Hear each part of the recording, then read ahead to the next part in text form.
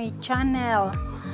Ngayong araw na to, mayroon tayong panibagong journey. Pupunta tayo sa magandang lugar ng LTO o Land Transportation Office ng San Carlos City. Ang ganda talaga ng kanilang lugar, napakalawak at napaka-refreshing pa ang area nila kasi mahangin at ang ganda ng environment.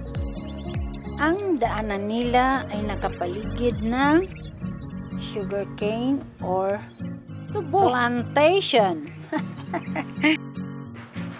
hindi kayo mabubor dahil sa daan pa lang ay hindi maaaliw ka na sa ganda ng daan. Ngayon, ito na tayo sa daan papuntang Land Transportation Office.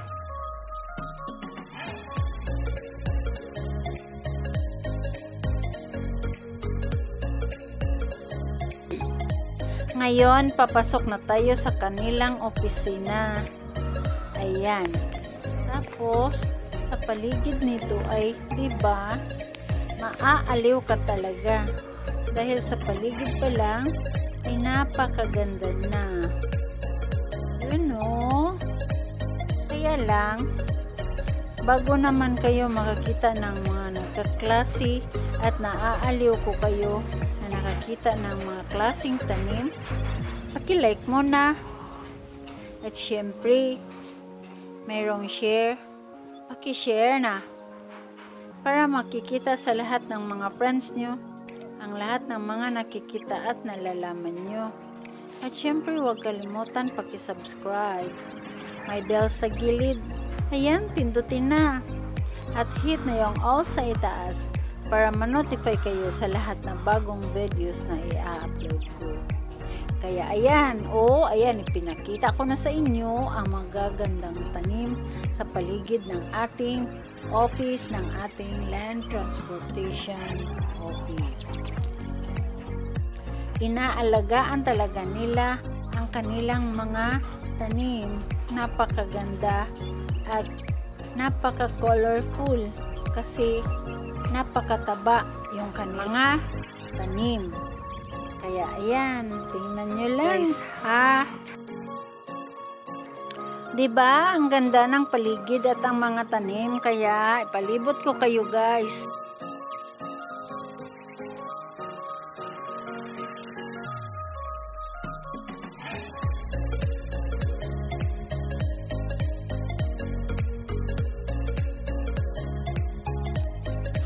Ang ganda ng mga tanim at ang taba at lalo na yung kanilang space bago papasok sa Land Transportation Office ay napakaganda at napakalawak, napakalinis kasi talaga.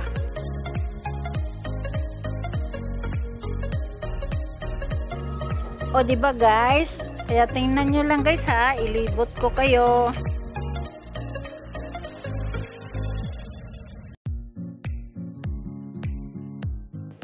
At nilagyan din nila ng tanim na talisay kasi nagbibigay yan ng shed. So paglalaki na yan, lalong gaganda itong kanilang space para sa kanilang land transportation office.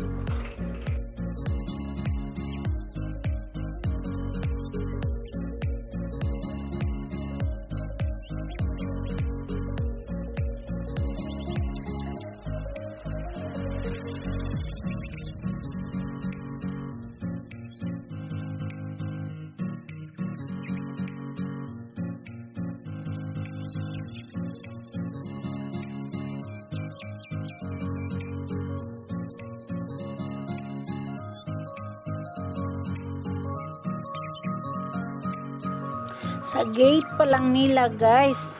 Ayan oh. So spacious. Kaya yun.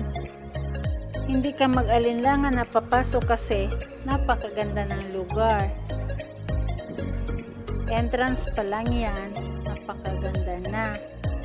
Diba? Ang ganda ng pagka-arrange ng kanilang mga tanim.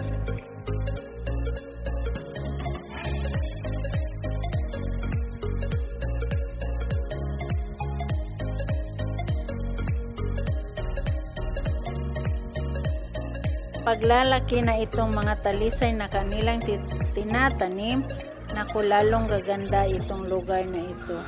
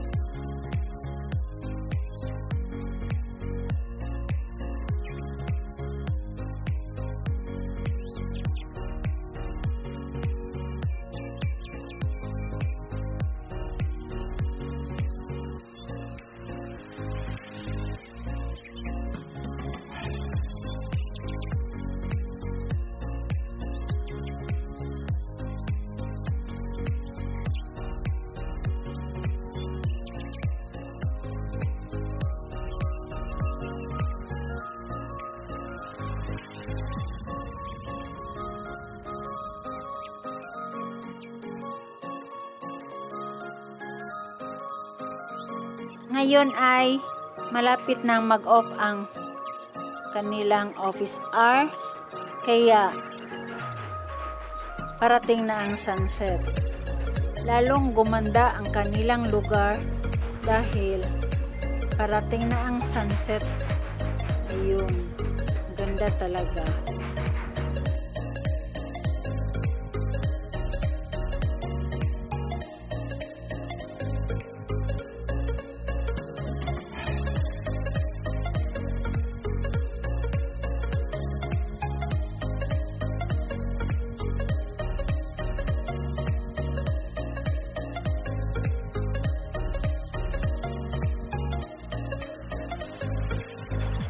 Dapat ganito ang lahat ng Land Transportation Office kaganda at kalinis.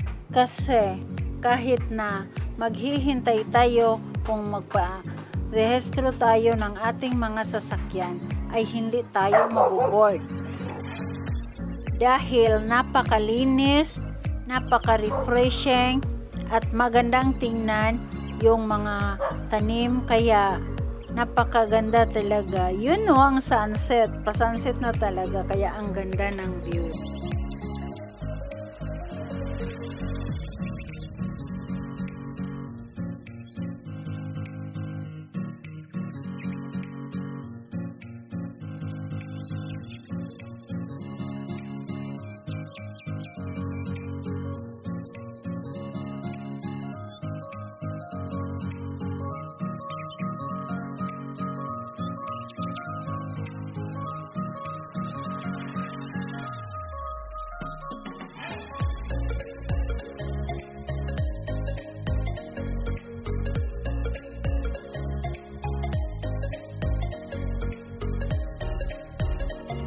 At kung walang service ay hindi mahihirapan yung ating taga-office worker dahil mayroon namang tricycle na naghihintay sa kanila. Kaya napaka-cool talaga ang land transportation office na ito.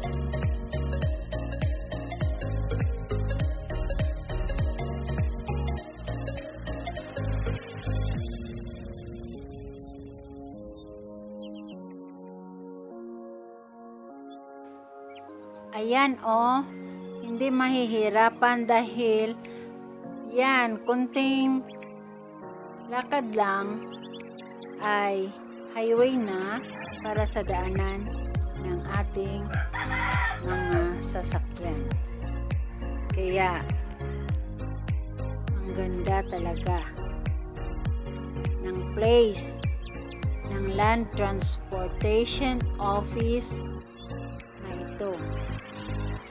Kaya hindi na kayo maboboard kung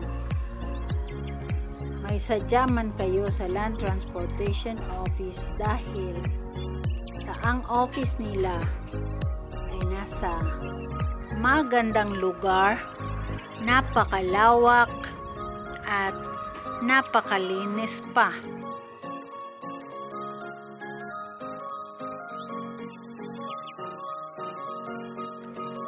Easy lang sa mga pumupunta, sa pupunta, at sa mga office worker na nagtrabaho na walang service dahil ay accessible po siya sa lahat ng mga sasakyan kasi malapit lang po yung highway ng ating office.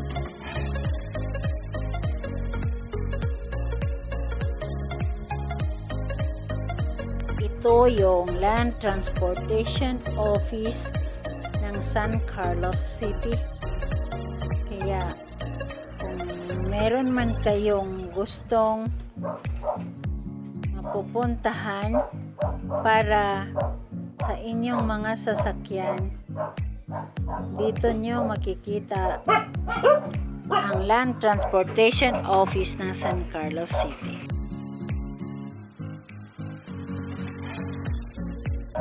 Hindi kayo maboboard dahil sa napakagandang lugar na nalalagyan ng ating office at napakalawak at napakalinis.